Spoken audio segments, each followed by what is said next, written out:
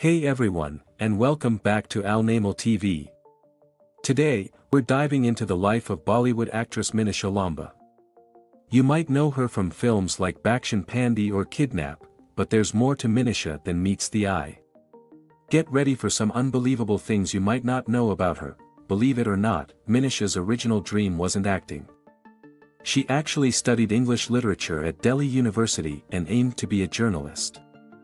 Talk about a plot twist. But fate had other plans. While attending a Cadbury commercial audition, she caught the eye of director Shoojit Sircar, who offered her a role in his film. That's how Bollywood found its new gem, Minissha wasn't afraid to push boundaries. Remember the super hit song, Tera Surroor, with Himesh Reshammiya?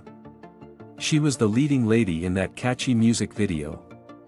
And get this, she even donned a bikini for her role in the thriller film Kidnap, which was quite a bold move for actresses back then. In 2013, Minissha surprised everyone by entering the reality show Bigg Boss Season 8. While she didn't win, it definitely showed her adventurous side and her willingness to step outside her comfort zone. After a successful Bollywood run, Minissha decided to focus on her personal life. She got married and is now a proud mommy. But that doesn't mean she's completely left the spotlight behind.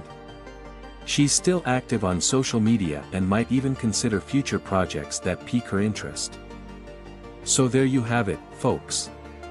Minissha Lamba's journey is filled with unexpected turns and a spirit of trying new things. From academic dreams to rocking Bollywood stages, she's definitely an inspiration. What did you find most unbelievable about Minissha's story? Let us know in the comments below. Don't forget to like this video, subscribe to Al Namal TV for more exciting content, and hit that notification bell to stay updated. Until next time, stay happy, stay curious.